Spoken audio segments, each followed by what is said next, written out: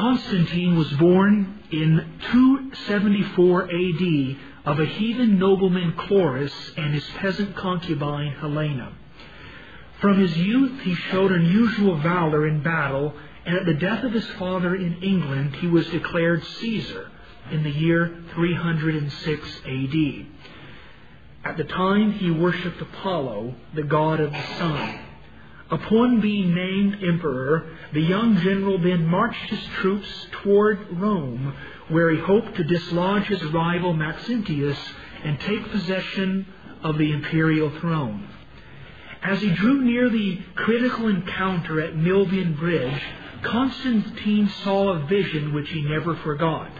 He saw a cross standing over the sun and heard a heavenly voice instructing him to, in this sign, conquer. Obeying the heavenly vision, he gave order that the name Christ was to be painted on the shields of his men. Having done so, he marched toward the battle, confident that the God of the Christians would bless him with victory, which he did. From that day on, Constantine would venerate Christ, though not formally convert to his religion till near his death some 25 years later having consolidated his civil power, becoming the sole emperor of the Western Empire, uh, Constantine was quick to legalize Christianity and began endowing the church with many royal favors, only a few of which I can presently mention. Firstly, Sunday was declared the Christian Sabbath, as a result of which work was forbidden and church attendance encouraged. Second, pagans were generally removed from their government posts and replaced with Christians. Third, pastors were relieved of military obligation and given a tax exempt status. Fourth, pastors became the salaried employees of the state, paid by the taxes levied on Christian and pagan alike. And lastly, Christian buildings were erected, enlarged, and richly furnished throughout the empire. As might be expected, the church was deeply grateful to the emperor. Indeed, she was too grateful. For in accepting his favors, they were inadvertently submitting to his sovereignty. After all, whoever pays the piper calls the tune. The evils produced by this illicit union cannot be exaggerated, no matter how well intentioned Constantine or the church leaders of the time may have been. The latter, in particular, acted with inexcusable stupidity and pride. The immediate effects of the legalization of Christianity and the joining of the church and the state in an unholy affair were, in a word, disastrous. Two things in particular occurred when the church and state came into union. First of all, it became fashionable to be a Christian, and therefore worldly men motivated by self interest joined the church. Augustine complained that the church fills itself daily with those who sought Jesus not for Jesus, but for worldly gain. Worldliness was, alas, not confined to any sect in the church, but the church in general suffered from it. The rich lived in the most decadent luxury without a thought of their poor brethren. Gregory of Nazianzen described their behavior like this We repose in splendor on high and sumptuous cushions, upon the most exquisite covers which one is almost afraid to touch, and are vexed if we but hear the voice of a moaning pauper. The rich, therefore, were rich, aristocratic, and indifferent toward the needs of their brethren. You should not, however, put the poor in any better light, for vice, of course, is no respecter of persons. The poor at the time generally entertained themselves in rioting and murder. Frequently, a bishop one pastor would stir up the mob of, quote, Christians against another bishop. They would go to his town, they would riot, they'd pull him out of his house, and they'd beat him to death. So this was the condition the church came down to after Constantine united the church and state. It became fashionable to be a Christian, and therefore everybody converted to the faith without so much as any change wrought by the Holy Ghost. Secondly, pastors became distant and authoritarian. Under the original order, of course, a pastor or pastors would oversee one particular church, usually not a very large body of people, and therefore they might know and be able to gently lead their people. However, under the Constantinian scheme, aristocratic men were appointed as what they called metropolitans, and they became bishops or pastors not over individual congregations, but over whole cities. And therefore they were charged with they were charged with the spiritual oversight of tens, if not hundreds of thousands of members.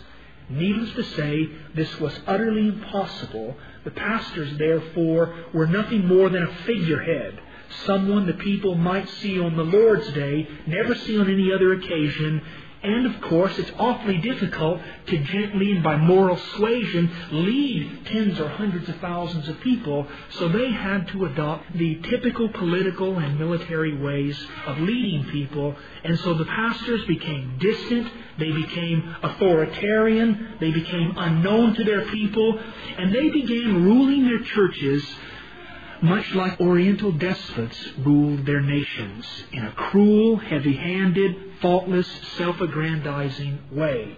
So, needless to say, this was disastrous for the flock which Christ purchased with his own blood. And then, thirdly, and most importantly, the state began exercising its control of the church. Constantine, the supposed friend of Christ, soon showed himself to be a Judas for not long after he legalized Christianity, this man had the unmitigated gall to declare himself head of the church. What's worse, however, is this. The bishops of the established church agreed with his assessment and therefore denied the crown rights which belong to Jesus Christ alone. As head of the church, naturally, the emperor could do many things, could meddle in spiritual affairs, and often did so in the most carnal fashion. What could he do? I should note in the first place that the emperor took upon himself the right to decree orthodoxy. Or to put that in a more simple way, he began to say what truth is and what error is. Therein, departing from the ancient order which said, only Scripture determines truth and error. Only the Holy Spirit is the final arbiter on all moral questions. But in becoming the head of the church, Constantine expelled the Holy Spirit, laid aside the Scripture, and began personally decreeing orthodoxy. Now, sometimes, admittedly, this worked for the cause of Christ. At Constantine's behest, for example, a council met at Nicaea in the year 325 to decide the controversy between Arius and Athanasius. In brief, Arius believed that Christ is not God. He believed that he was a good man. He believed that he was a unique messenger of God. He believed that there was no man more worthy of our imitation than Christ, but in the final analysis, said Arius, Christ is not God. That's what he believed, and that's what he taught, and his views seeped throughout the Roman Empire, and by the time the council was called in 325, many hundreds of thousands of professed Christians held to this ungodly creed. Athanasius, on the other hand, who was the archdeacon of a church in Alexandria, Egypt, denied the views of Arius and made the famous statement that Christ is very God of very God and very man of very man. That Christ is more than a mere messenger of Jehovah. He is Jehovah. He's more than worthy of our imitation. He deserves our worship and veneration. And so on this particular question, of course, Athanasius was in the right, Arius was in the wrong. Well, this was a big controversy. It was splitting up churches. It was dividing the professed followers of Christ into different camps. And indeed, the people were so carnal at the time that often the Athanasians rioted in Arian cities. And the Arians rioted in Athanasian cities. And so the whole welfare of the empire, no less the kingdom of God, was at stake in once and for all determining this question. Well, Constantine called for a council. It met in Nicaea, and there Arius was first given the floor. And being a very learned and eloquent man, as well as as well as capped with a long mane of white hair, he made for a very impressive figure. And he nearly talked the emperor into adopting his views. Athanasius, though, came up afterwards and made an even better presentation. It was amazing at the time, most of the people of that council were Arian in nature. Athanasius then made his famous statement when someone asked him, Well, Athanasius, you're the only one in the world who's holding to this doctrine. A Bit of hyperbole, but still relatively true. He made the famous statement, Well, if that's so, then Athanasius contra mundum. Athanasius will stand against the world. Well, this was so powerfully impressive to the emperor that he decided that indeed in the long run we ought to adopt the views of Athanasius, and therefore Arius, who denied the deity of Christ, was branded a heretic, he was excommunicated and sent into exile. So sometimes the imperial power came alongside and furthered the kingdom of Christ. But this does not validate the principle behind it.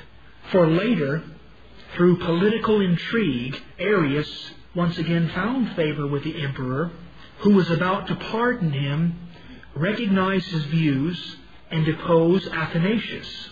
So, if right and wrong is a matter of royal favor, then he who can convince an emperor of one thing might come along later and convince him of quite another thing. And so the day was set on which Arius would be pardoned, his views would be accepted, and the true cause of Christ would be exiled. But interestingly, on the very day that Arius was to be pardoned, God struck him with a deadly intestinal disease, and that very day, on the way to his pardon, he vomited up his intestines. And so awe inspiring and so singular was this providence that all the followers of Athanasius linked him to Judas, who, falling headlong, burst asunder in the midst, and all his bowels gushed out. And so the emperor was called upon to decree orthodoxy. That's a bad principle. For the final arbiter of right and wrong can never be a mere man. It is always the Holy Spirit as he speaks the mind of God in the Scripture. Now, to allow Constantine to declare orthodoxy is all the more amazing when you consider what a wicked man he was. I have several things to say about the man's character which obviously disqualify him from even daring to comment on moral and ethical matters, no less decree them. First of all, in declaring Sunday to be the Christian Sabbath, he did so for two reasons. One, Christ rose from the dead that day, and two, he did it in remembrance of the Sun God, after whom the Sunday was named. He never entirely departed from the worship of Apollo. And so he said, let's all take this day off because Christ rose from the dead that day, and this is the day that my God, the Sun, appears. He also believed that the only way to be saved was through the baptismal waters. He believed baptism washed away sin, and therefore, instead of being baptized upon his profession of faith in the year 312, he was baptized in the year 337, literally on his deathbed, hoping that its baptismal waters would wash him clean in the presence of God. Later in life, he murdered his wife and two children. And to the day of his death, he kept the title not only Emperor of the Empire, but also Pontifex Maximus, High Priest of the Roman cult. So this is remarkable, isn't it? That a man who worshipped the sun, who murdered his own family and declared himself to be the high priest of the worship of ancient Rome, would be put in the place of determining for Christians in every following generation what's true and what's untrue. But the moment the state comes into the church, the moment we mix the world in with the kingdom, you will inevitably have just that result. So that's the first thing he was allowed to do, invited to do, decree orthodoxy. Secondly, closely related to it, is he was given the right to punish heretics. Now that the state owns the sword, in, or the state has a right to the sword, cannot be denied. The state is appointed by God to punish criminals, not to harass heretics. But of course, being head of the church, Constantine took upon himself the right to do the latter as well as the former. During his life, the most significant schism in the in the Christian church was the group called the Donatists. This was an African sect which keenly felt the emperor's wrath. Do you know for what heinous errors they were punished? These were the awful things that deserved the punishment of the state. One, they denied the exercise of civil power in the church. Their motto was, What has the emperor to do with the church? That's what they were punished for. They said Christ is the head of the church, not the emperor. And they didn't say, therefore, let us do whatever we please. Let us eat our children. Let us commit plunder. All they said is, leave us alone when we come into the assembly. But for such things, the emperor thought it necessary to punish them. And the other thing for which they were especially marked and which separated them from the Catholics of the time was this. The Donatists demanded holiness of life as a qualification for church membership. You must be more than a professor of faith. You must be more than a baptized person. You, in order to join the church, you must live holily. During the persecutions which just preceded the rise of Constantine, of course, many so called Christians denied the faith, recanted what they had previously believed, and become pagans, declaring Caesar as Lord in such things. Well, when it became fashionable to be a Christian, a lot of folks just switched right back to the church. They said, well, we want to go back to church. Of course we're Christians. We've always believed in Christ. We've been baptized and so forth. The Donatists said, no way. Christianity is not a matter of the lips, it's a matter of the heart. You're not really convicted Christians, you're just you're just Christians by convenience. We'll have no part of you in our assemblies. And for these two awful crimes, for saying the emperor does not belong in the church, and for saying that the church must be made up of holy, regenerate members, the Donatists were severely and for many centuries punished. This idea that the emperor should come into the church, the state should sort of have an outpost in God's kingdom, is called the Constantinian principle. And it has been the bane of God's people throughout the ages. For centuries, the Catholic princes slew their peaceful subjects for no other crime than following the dictates of their consciences. Three words established their never forgotten guilt the Spanish Inquisition, in which the most exquisite devices human depravity could ever come up with were used to punish people for denying the headship of the Pope, for believing that you should read the Bible, for thinking that baptism should only be for believers, for believing the church should be made up of regenerate people rather than all the people in a given city.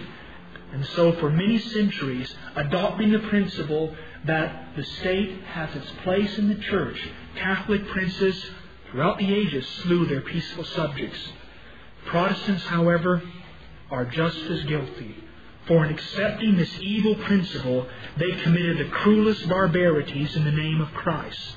Two Anabaptists, a man by the name of Phillips, another fellow by the name of Manz, were drowned in Zurich, Switzerland with the consent of holy Ulrich Zwingli.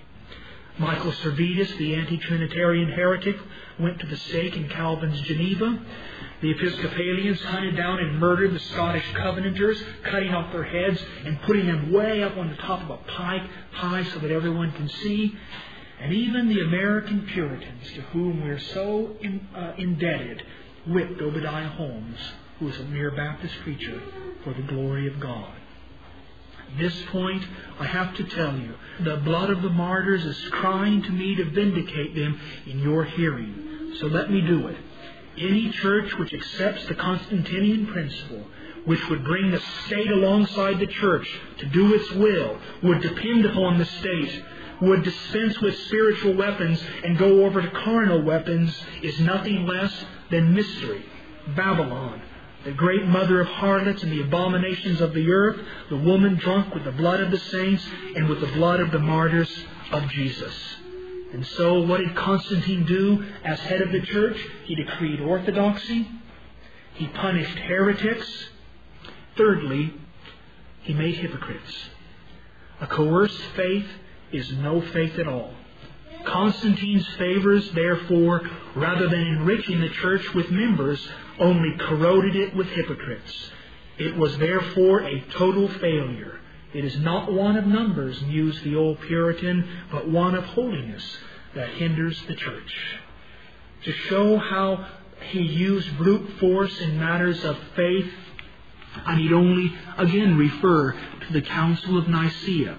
Remember, I told you the two main figures were Arius and Athanasius.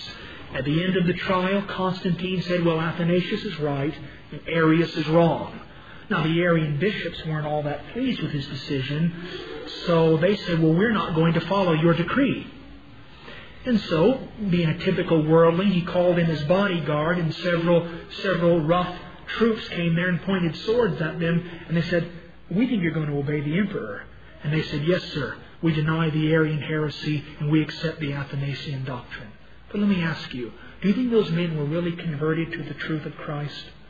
Do you think that was an effective way to bind their consciences and bring them into submission to the truth that Christ is really God? I think not. And so, in bringing the state into the church, for all of his fine gifts, in fact, Constantine did nothing but destroy the church by sowing discord from within. The most he could do was decree orthodoxy, and the principle, once accepted, can lead to the greatest disasters.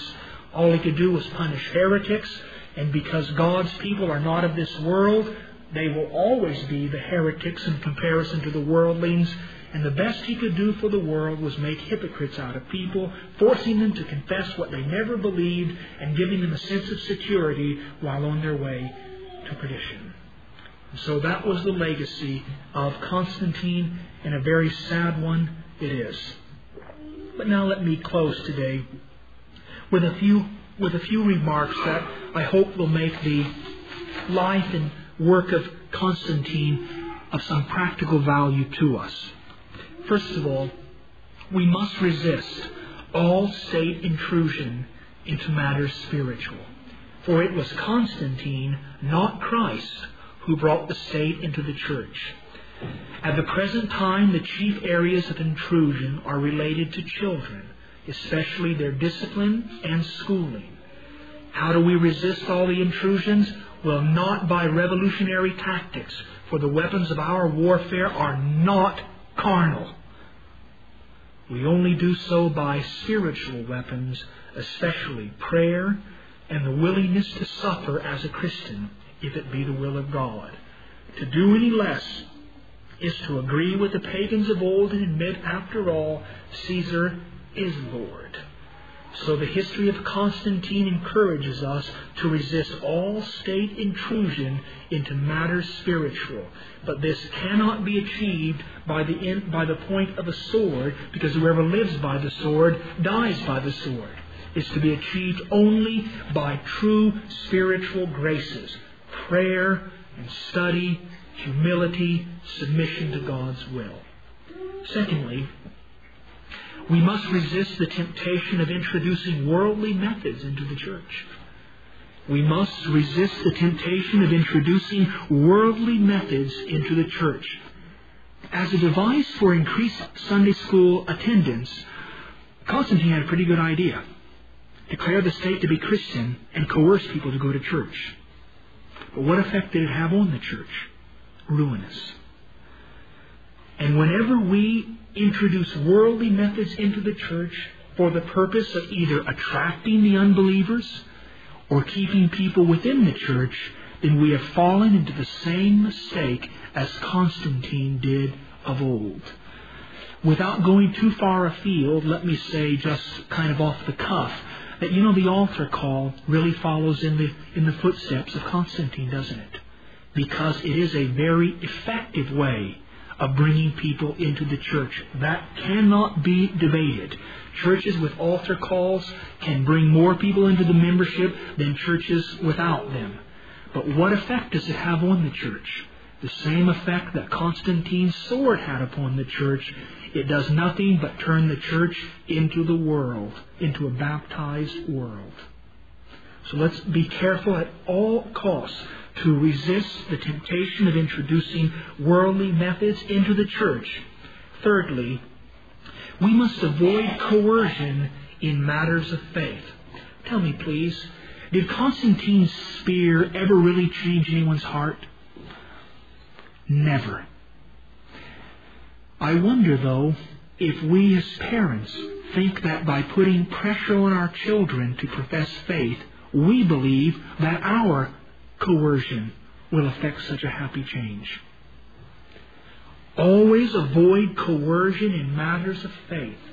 Tell your children the gospel. Tell them how much you wish they would believe the gospel. Plead with them to receive the gospel and pray earnestly for them, but never, under any circumstances, put psychological pressure upon them to do anything. Let the Holy Spirit do His work. God calls men to preach the gospel and calls the Holy Spirit to apply it to the conscience of sinners. Beware, because if there's one thing in the world worse than a sinner, it's a sinner who believes himself to be saved. They become twofold the children of hell. So please be careful to avoid coercion in matters of faith. You know, it's strange, isn't it, that those of us who recoil at the, the cheapness of Arminianism in bringing unconverted people to church and bringing them into the, bringing them to the faith and so forth, often apply the very same tactics to our own children. Watch out.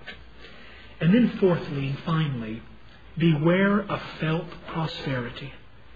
Beware of felt prosperity, be it temporal or spiritual. It is the forerunner of disaster. The church must have leaped at the thought of official toleration and enrichment. But what 300 years of persecution could not accomplish, a few years of prosperity could. It put the light of the, the world under a bushel. This, of course, should not have surprised the early Christians before, long before it was written, But Jeshurun waxed fat and kicked. And so beware of prosperity, because it is often the forerunner of disaster. And so the life of Constantine becomes one of the turning points in church history. It changes the whole nature of the church from a local, visible body of regenerate saints meeting for the worship of God into little more than an auxiliary of the state. That has never been God's will. And it's not God's will if that auxiliary is Catholic, if it's Protestant, or if it's anything else. God alone is sovereign. And He has created this world with spheres of sovereignty. And no one sphere is allowed to reach its tentacle over to some other sphere. The state has no business ruling the church. The church has no business interfering with the state. The church has no claims upon the children of parents. Parents can put no pressure on the church.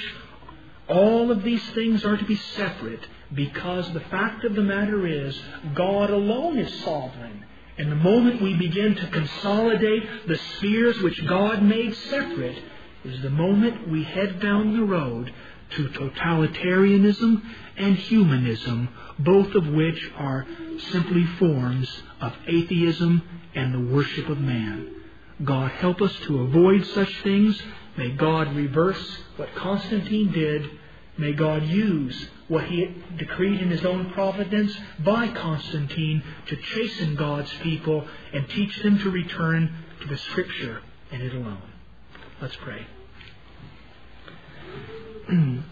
Father in heaven, we do deplore the fact that Constantine mixed the world and the church.